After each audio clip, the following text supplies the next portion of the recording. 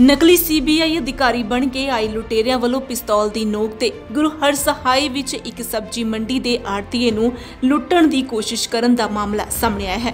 ਇਸ ਦੌਰਾਨ ਆੜਤੀਏ ਨੇ ਦਲੇਰੀ ਵਿਖਾਉਂਦਿਆਂ ਲੁਟੇਰਿਆਂ 'ਚੋਂ ਦੋ ਨੂੰ ਕਾਬੂ ਕਰ ਲਿਆ, ਜਦਕਿ ਦੋ ਭੱਜਣ ਵਿੱਚ ਕਾਮਯਾਬ ਰਹੇ। ਇਸ ਸੰਬੰਧੀ ਆੜਤੀ ਤਰਸੇਮ ਲਾਲ ਨੇ ਦੱਸਿਆ ਕਿ ਚਾਰ ਵਿਅਕਤੀ ਸੀਬੀਆਈ ਦੇ ਅਧਿਕਾਰੀ ਦੱਸ ਉਸ ਦੇ ਘਰ ਅੰਦਰ ਦਾਖਲ ਹੋਏ ਅਤੇ ਤਲਾਸ਼ੀ ਲੈਣ ਦੀ ਗੱਲ ਕਰਨ ਲੱਗੇ। ਪਰ ਜਦੋਂ ਉਸ ਨੂੰ ਸ਼ੱਕ ਹੋਇਆ ਤਾਂ ਉਸ ਨੇ ਆਇਡੈਂਟੀ ਕਾਰਡ ਮੰਗਿਆ। ਜਿਸ ਤੋਂ ਬਾਅਦ ਲੁਟੇਰਿਆਂ ਨੇ ਪਿਸਤੌਲ ਦੀ ਨੋਕ ਤੇ ਉਸ ਨੂੰ ਲੁੱਟਣ ਦੀ ਕੋਸ਼ਿਸ਼ ਕੀਤੀ। ਪਰ ਉਸ ਨੇ ਦਲੇਰੀ ਵਿਖਾਉਂਦਿਆਂ ਪਿਸਤੌਲ ਲੁਟੇਰਿਆਂ ਤੋਂ ਖੋਲਿਆ ਅਤੇ ਗੁਆਂਢੀਆਂ ਦੀ ਮਦਦ ਨਾਲ ਦੋ ਨੂੰ ਕਾਬੂ ਕਰ ਲਿਆ ਤੇ ਦੋ ਭੱਜਣ ਵਿੱਚ ਕਾਮਯਾਬ ਰਹੇ। ਇਹ ਘਟਨਾ ਕਿਸ ਤਰ੍ਹਾਂ ਵਾਪਰੀ? ਮੇਰੇ ਨਾਲ ਜੀ ਅੱਜ ਮੈਂ ਜਦੋਂ ਮੈਂ ਸਬਜ਼ੀ ਮੰਡੀ ਆੜਤ ਕਰਨਾ ਜੀ ਔਰ ਜਦੋਂ ਮੈਂ ਸਬਜ਼ੀ ਮੰਡੀ ਤੋਂ ਆਪਣੇ 10 10:30 ਵਜੇ ਘਰ ਆਇਆ ਤੋਂ ਮੈਂ ਫੈਮਿਲੀ 'ਚ ਬੈਠਾ ਹੋਇਆ ਸੀ ਤੇ ਅਣਪਛਾਤੇ ਜਿਹੜੇ ਤਿੰਨ ਬੰਦੇ ਗੇਟ ਨੂੰ ਆਪੇ ਹੀ ਖੋਲ ਕੇ ਤੇ ਅੰਦਰ ਆ ਗਏ। ਅੰਦਰ ਆਉਂਦਿਆਂ ਨਾਲ ਸਾਨੂੰ ਕਹਿੰਦੇ ਜੀ ਵੀ ਅਸੀਂ ਆਏ ਸੀਬੀਆਈ ਤੋਂ। ਸੀਬੀਆਈ ਦਾ ਇੱਕ ਨਕਲੀ ਜਿਹਾ ਕਾਰਡ ਬਣਾਈ ਫਿਰਦੇ ਸੀ, ਸਾਨੂੰ ਅੱਗੇ ਕਰਤਾ। ਉਸ ਤੋਂ ਬਾਅਦ ਫੱਟ ਉਹਨਾਂ ਨੇ ਜੇਬ 'ਚ ਪਾ ਲਿਆ। ਕਹਿੰਦੇ ਤੁਹਾਡੇ ਤੋਂ ਪੁੱਛਗਿੱਛ ਕਰਨੀ ਜੀ। ਚਲੋ ਕਿ ਅਸੀਂ ਕੋ ਕਰ ਲਓ ਜੀ ਪੁੱਛਗਿੱਛ ਤੁਸੀਂ। ਜਦੋਂ ਪੁੱਛਗਿੱਛ ਦਾ ਨਾਂ ਲਿਆ 4-5 ਮਿੰਟ ਬਿਨਾਂ ਗੱਲ ਤੋਂ ਸਾਨੂੰ ਸਵਾਲ ਕਰਦੇ ਰਹੇ ਉਲਟ ਪੁਲਟ ਕਿੰਨੇ ਮੈਂਬਰ ਜੇ, ਕੀ ਇਹ ਸਭ ਕੁਝ ਉਸ ਤੋਂ ਬਾਅਦ ਸਾਡੀ ਫੈਮਿਲੀ ਨੂੰ ਕਹਿੰਦੇ ਵੀ ਤੁਸੀਂ ਇਹਨਾਂ ਨੂੰ ਇੱਕ ਕਮਰੇ 'ਚ ਆ ਜਾਓ ਸਾਰੇ ਜਣੇ। ਫੈਮਿਲੀ ਮੇਰੀ ਨੂੰ ਸਾਰਿਆਂ ਨੂੰ ਕਮਰੇ ਤਾੜਦਾ ਉਸ ਤੋਂ ਬਾਅਦ ਮੈਨੂੰ ਕਹਿੰਦੇ, ਤੁਸੀਂ ਵੀ ਚਲੋ, ਮੈਂ ਲੌਬੀ 'ਚ ਖੜਾ ਸੀ। ਮੈਨੂੰ ਕਹਿੰਦੇ ਅੰਦਰ ਚੱਲੋ।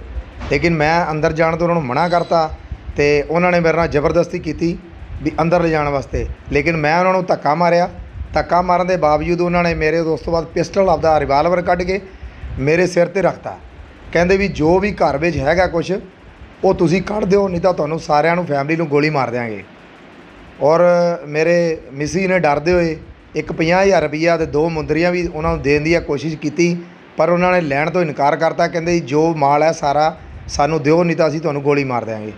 ਉਸ ਤੋਂ ਬਾਅਦ ਜਦੋਂ ਉਹਨਾਂ ਨੇ ਮੇਰੇ ਸਿਰ ਤੇ ਗੋਲ ਪਿਸਟਲ ਰੱਖਿਆ ਹੋਇਆ ਸੀ, ਫਿਰ ਮੈਂ ਇਹੀ ਸੋਚਿਆ ਵੀ ਮਹਾਰਾਜ ਵੀ ਆ ਪਰਮਾਤਮਾ ਵੀ ਜੇ ਮੈਂ ਹੀ ਮਰ ਗਿਆ ਤਾਂ ਫਿਰ ਪਿੱਛੇ ਕੀ ਰਹਿ ਜਾਣਾ ਫਿਰ ਮੈਂ ਆਪਦੀ ਹਿੰਮਤ ਦਿਖਾਉਂਦੇ ਹੋਇਆ ਮੈਂ ਉਹਨਾਂ ਦਾ ਪਿਸਟਲ ਖੋਣ ਦੀ ਕੋਸ਼ਿਸ਼ ਕੀਤੀ ਤਾਂ ਉਹਨਾਂ ਨੂੰ ਜ਼ਮੀਨ ਤੇ ਸੁੱਟ ਲਿਆ। ਜ਼ਮੀਨ ਤੇ ਸੁੱਟਣ ਨਾਲ ਉਹਨਾਂ ਦੇ ਮੇਰੇ ਦੋਵੇਂ ਜਿਹੜੇ ਬੰਦੇ ਸੀ ਉਹ ਮੇਰੇ ਉੱਪਰ, ਮੈਂ ਥੱਲੇ, ਕਦੇ ਉਹ ਉੱਪਰ, ਮੇਰਾ ਉਹਨਾਂ ਨੇ ਬਹੁਤ ਕੋਸ਼ਿਸ਼ ਕੀਤੀ ਪਿਸਟਲ ਖੋਣ ਦੀ ਮੇਰੇ ਕੋਲੋਂ, ਪਰ ਪਿਸਟਲ ਪ੍ਰਮਾਤਮਾ ਦੀ ਕਿਰਪਾ ਨਾਲ ਮੇਰੇ ਹੱਥ 'ਚੋਂ ਨਹੀਂ ਛੁੱਟਿਆ। ਜਦੋਂ ਨਹੀਂ ਛੁੱਟਿਆ, ਉਸ ਤੋਂ ਬਾਅਦ ਉਹਨਾਂ ਨੇ ਮੇਰੇ ਡੰਡੇ ਦੇ ਵਾਰ ਵੀ ਕੀਤੇ ਪਿੱਛੇ। ਮੇਰੀ ਇੱਕ ਉਂਗਲੀ ਦੇ ਉੱਤੇ, ਜਿਹੜੇ ਮੇਰੇ ਬਹੁਤ ਚੋਟ ਉਹਨਾਂ ਨੇ ਆਪਦੇ ਦੰਦ ਨਾਲ ਮੇਰੀ ਉਂਗਲੀ ਨੂੰ ਪਾੜ ਦਿੱਤਾ, ਜਿੰਦੇ ਕਾਰਨ ਮੈਨੂੰ ਬਹੁਤ ਚੋਟ ਲੱਗੀ ਹੈ। ਲੇਕਿਨ ਮੈਂ ਪ੍ਰਮਾਤਮਾ ਦੀ ਕਿਰਪਾ ਨਾਲ ਵੀ ਪਿਸਟਲ ਨਹੀਂ ਛੱਡਿਆ। ਜਦੋਂ ਨਹੀਂ ਛੱਡਿਆ, ਉਸ ਤੋਂ ਬਾਅਦ ਮੇਰੇ ਮਿਸੀ ਰੋਲਾ ਪੈਣ ਦੇ ਬਾਵਜੂਦ ਬਾਹਰ ਉਹਨਾਂ ਨੇ ਸ਼ੋਰ ਮਚਾਇਆ। ਬਹੁਤ ਮੇਰੇ ਸੱਜਣ ਜਿਹੜੇ ਦਬਾ ਦਬ ਇਕੱਠੇ ਹੋ ਗਏ। ਅਤੇ ਉਹਨਾਂ ਨੇ ਉਹਨਾਂ ਨੂੰ ਪਕੜ ਲਿਆ। ਪਕੜਨ ਤੋਂ ਬਾਅਦ ਉਹਨਾਂ ਨੂੰ ਅਸੀਂ ਪੁਲਿਸ ਦੇ ਡਿਪਾਰਟਮੈਂਟ ਨੂੰ ਫੋਨ ਕੀਤਾ। ਪੁਲਿਸ ਡਿਪਾਰਟਮੈਂਟ ਮੌਕੇ ਤੇ A S I D ASI P ਸਾਹਿਬ ਆਏ ਅਤੇ ਉਹਨਾਂ ਨੂੰ ਫੜ ਕੇ ਲੈ ਗਏ। ਅਸੀਂ ਪ੍ਰਸ਼ਾਸਨ ਤੋਂ ਅਤੇ ਸਾਰੇ ਜਿਹੜੇ ਸਾਡੇ ਐਮਐਲਏ ਸਾਹਿਬ ਨੇ, ਉਹਨਾਂ ਤੋਂ ਵੀ ਇਹੀ ਗੁਜ਼ਾਰਿਸ਼ ਕਰਨੇ ਆ ਵੀ ਇਹਨੇ ਇਸ ਬੰਦਿਆਂ ਨੂੰ ਸਖਤ ਤੋਂ ਸਖਤ ਕਾਰਵਾਈ ਕੀਤੀ ਜਾਵੇ। ਕਿਉਂਕਿ ਆਉਣ ਵਾਲਾ ਸਮਾਂ ਜੇ ਬਿਜ਼ਨਸਮੈਨ ਇਹੋ ਜਿਹਾ ਕੁਝ ਹੋਈ ਜਾਗਾ ਤੇ ਬਿਜ਼ਨਸਮੈਨ ਤਾਂ ਕੰਮ ਕਰ ਹੀ ਨਹੀਂ ਸਕਦਾ। ਬਿਜ਼ਨਸਮੈਨ ਤਾਂ ਅੱਗੇ ਮਰਿਆ ਪਿਆ ਕਰੋਨਾ ਦੇ ਕਾਰਨ। ਜੇ ਇਹੋ ਜਿਹੀਆਂ ਗੱਲਾਂ ਹੋਣਗੀਆਂ ਤੇ ਫਿਰ ਤਾਂ ਬਿਜ਼ਨਸਮੈਨ ਮੈਂ ਹੀ ਮਰ ਜਾਏਗਾ। ਮਾਜਲ ਲੋਕ ਨੂੰ ਜਿਹੜਾ ਹਰ ਬੰਦਾ ਡਰਾ ਕੇ ਹਾਂਜੀ ਪੁਲਿਸ ਨੇ ਮਾਮਲਾ ਦਰਜ ਕਰ ਲਿਆ ਜੀ ਪਰਚਾ ਦਰਜ ਕਰ ਲਿਆ ਜੀ। ਉਹਨਾਂ ਤੋਂ ਅੱਗੇ ਹੁਣ ਪੁੱਛ ਕੇ ਜਾਰੀ ਹੈ। ਅਸੀਂ ਪੁੱਛ ਪੁਲਿਸ ਪ੍ਰਸ਼ਾਸਨ ਤੋਂ ਵੀ ਇਹੀ ਮੰਗ ਕਰਾਂਗੇ ਵੀ ਇਹਨਾਂ ਨੂੰ ਸਖਤ ਤੋਂ ਸਖਤ ਕਾਰਵਾਈ ਧਾਰਾ ਲਾ ਕੇ ਤੇ ਸਖਤ ਤੋਂ ਸਖਤ ਇਹਨਾਂ ਦੇ ਕਾਰਵਾਈ ਕੀਤੀ ਜਾਵੇ। ਨਹੀਂ ਤੁਹਾਨੂੰ ਸ਼ੱਕ ਹੈ ਕਿਸੇ ਦੇ ਵੀ ਨਹੀਂ ਸਾਨੂੰ ਕਿਸੇ ਸਾਰੇ ਨਾ ਹੀ ਸਾਨੂੰ ਇਹ ਜਾਣਦੇ ਸੀ ਜੀ। ਬੰਦੇ ਨੇ ਕੀ ਕਿਸੇ ਨੇ ਰਿਪੋਰਟ ਦਿੱਤੀ? ਸਾਡੇ ਕੋਲ ਸਬਜ਼ੀ ਮੰਡੀ ਜਦੋਂ ਵਾਪਸੀ ਆਈਦਾ ਹੈ, ਕੋਈ ਸਾਡੇ ਕੋਲ 10 20 ਹਜ਼ਾਰ ਰੁਪਈਆ ਵੀ ਹੁੰਦਾ ਇਹਨਾਂ ਨੇ ਰਿਪੋਰਟ ਕਿੱਥੋਂ ਮਿਲੀ ਇਹਨਾਂ ਨੂੰ? ਸਾਨੂੰ ਕੁਝ ਪਤਾ ਨਹੀਂ। ਅਸੀਂ ਪਰ- ਪੁਲਿਸ ਪ੍ਰਸ਼ਾਸਨ ਤੋਂ ਵੀ ਮੰਗ ਕਰਾਂਗੇ ਵੀ ਜਿਹੜੇ ਇਹਨਾਂ ਦੇ ਮੋਬਾਈਲ ਫੜੇ ਗਏ ਨੇ ਉਹਨਾਂ ਮੋਬਾਈਲਾਂ ਦੇ ਆਧਾਰ ਤੇ ਜਿਹੜੇ ਇਹਨਾਂ ਦੇ ਨੰਬਰ ਨੇ ਉਹਨਾਂ ਦੀ ਜਾਂਚ ਕੀਤੀ ਜਾਵੇ ਵੀ 10 10 ਤੇ ਸਾਢੇ ਕਰੀਬ 10 ਕਰੀਬ ਇਹਨਾਂ ਕੋਲ ਕਿਹੜੇ ਕਿਹੜੇ ਬੰਦਿਆਂ ਨੇ ਫੋਨ ਕੀਤੇ ਨੇ ਜਿਹੜੇ ਇਨਫੋਰਮਰ ਨੇ ਇਹਨਾਂ ਦੇ ਉਹਨਾਂ ਨੂੰ ਫੜਿਆ ਜਾਵੇ ਤੇ ਅੱਗੇ ਦੇ ਜਿਹੜੇ ਹੋਰ ਵੀ ਇਹਨਾਂ ਨੇ ਕ੍ਰਾਈਮ ਕੀਤੇ ਆ ਉਹਨਾਂ ਬਾਰੇ ਵੀ ਪੁਲਿਸ ਪ੍ਰਸ਼ਾਸਨ ਨੂੰ ਹੋਰ ਵੀ ਜਿਹੜੀ ਤਰੱਕੀ ਦੇ ਰਾਹ ਤੇ ਜਾਣਗੇ। ਮੈਂ ਇਹੀ ਪੁਲਿਸ ਪ੍ਰ- ਪ੍ਰਸ਼ਾਸਨ ਤੋਂ ਮੰਗ ਕਰਨਾ ਜੀ। ਉਧਰ ਪੁਲਿਸ ਵੱਲੋਂ ਮੌਕੇ ਤੇ ਪਹੁੰਚ ਕੇ ਮਾਮਲੇ ਦੀ ਜਾਂਚ ਸ਼ੁਰੂ ਕਰ ਦਿੱਤੀ ਗਈ ਹੈ। ਇਹਦੇ ਵਿੱਚ ਇਹਨਾਂ ਨੇ ਜਿਹੜੇ ਘਰ ਦੇ ਅੰਦਰ ਐਂਟਰੀ ਕੀਤੀ ਹੈ ਤੇ ਇਹਨੇ ਦੱਸਿਆ ਸੀ ਸੀਬੀਆਈ ਦੇ ਮੁਲਾਜ਼ਮ ਹੈਗੇ ਆ ਆਪਦਾ ਕਾਰਡ ਦਿਖਾਇਆ ਉਦੋਂ ਬਾਅਦ ਪਿਸਤਲ ਉਹਦੇ ਮੱਥੇ ਨਾਲ ਲਾ ਲਿਆ। ਜਦੋਂ ਖੋਹ ਦੀ ਨੀਅਤ ਨਾਲ ਉਹਨਾਂ ਨੇ ਘਰ ਵਾਲਿਆਂ ਨੇ ਦੇਖਿਆ ਵੀ ਇਹਦੇ ਜਿਹੜੇ ਖੋਹ ਦੀ ਨੀਅਤ ਨਾਲ ਆਇਆ ਉਹਨਾਂ ਦੇ ਹੱਥ ਵਿੱਚ ਜੱਫੋ ਜੱਫੀ ਹੋ ਗਏ। ਉੱਥੇ ਦੋ ਬੰਦੇ ਜਿਹੜੇ ਆ ਘਿਰ ਗਏ ਆ ਤੇ ਇਹਦੇ ਵਿੱਚੋਂ ਦੋ ਬੰਦੇ ਇਹਨਾਂ ਚੋਂ ਭੱਜਣ 'ਚ ਕਾਮਯਾਬ ਹੋ ਗਏ। ਇੱਕ ਅੰਦਰੋਂ ਇੱਕ ਜਿਹੜਾ ਬਾਹਰ ਖੜਾ ਸੀਗਾ, ਉਹ ਦੋ ਭੱਜ ਗਏ ਆ।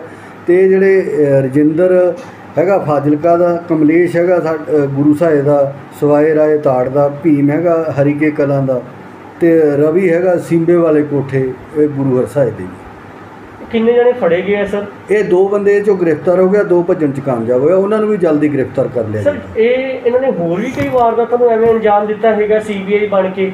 ਉਹਦੇ ਵਿੱਚ ਇਹਦੇ ਤੇ ਤੋਂ ਡੰਗਾਈ ਨਾਲ ਇਹਨਾਂ ਦੀ ਪੁੱਛ ਪੜਤਾਲ ਕੀਤੀ ਜਾਊਗੀ ਇਹਨਾਂ ਦਾ ਹੋਰ ਵੀ ਰਿਮਾਂਡ ਲੈ ਕੇ ਇਹਨਾਂ ਤੋਂ ਜਿਹੜੀ ਡੰਗਾਈ ਨਾਲ ਪੜਤਾਲ ਕਰਕੇ ਅਗਲੀ ਕਾਰਵਾਈ ਅਮਲ 'ਚ ਲਿਆਂਦੀ ਜਾਊਗੀ। ਜਿਹੜਾ ਸਰ ਗੁਰੂ ਹਰਸਹਾਏ ਤੋਂ ਸੁਖਚੈਨ ਸਿੰਘ ਦੀ ਰਿਪੋਰਟ। ਹੁਣ ਸਮੱਸਿਆ ਭਾਵੇਂ ਕਿੱਡੀ ਵੀ ਹੋਵੇ, ਤੁਹਾਨੂੰ ਘਬਰਾਉਣ ਦੀ ਨਹੀਂ ਲੋੜ। ਸ਼੍ਰੀ ਬਾਲਾਜੀ ਦਰਬਾਰ ਕਰੇਗਾ, ਤੁਹਾਡੀ ਹਰ ਸਮੱਸਿਆ ਦਾ ਸੰਪੂਰਨ ਹੱਲ। ਤੁਸੀਂ ਰੋਂਦੇ ਹੋਏ ਆਓਗੇ ਤੇ ਹੱਸਦੇ ਹੋਏ ਜਾਓਗੇ। ਜਿਵੇਂ ਕਾਰੋਬਾਰ 'ਚ ਘਾਟਾ, ਗ੍ਰਹਿ ਕਲੇਸ਼ ਪਤੀ ਪਤਨੀ 'ਚ ਅਣਬਣ, ਕੀਤਾ ਕਰਾਇਆ, ਕੰਮ ਬੰਦੇ ਬੰਦੇ ਵਿਗੜ ਜਾਣਾ, ਮਨ ਚਾਹਾ ਪਿਆਰ, ਵਿਦੇਸ਼ ਯਾਤਰਾ, ਦੁਸ਼ਮਣ ਤੋਂ ਛੁਟਕਾਰਾ, ਘਰ 'ਚ ਖੂਨ ਦੇ ਛਿੱਟੇ ਆਉਣਾ। ਵਸ਼ੀਕਰਨ ਤੇ ਮੁਠਕਰਨੀ ਦੇ ਮਾਹਰ ਪੰਡਿਤ ਮੋਹਿਤ ਕੁਮਾਰ ਜੀ। ਹੁਣ ਆਪਣੇ ਹਰ ਦੁੱਖ ਨੂੰ ਸੁੱਖ 'ਚ ਬਦਲਣ ਲਈ ਹੁਣੇ ਕਾਲ ਕਰੋ।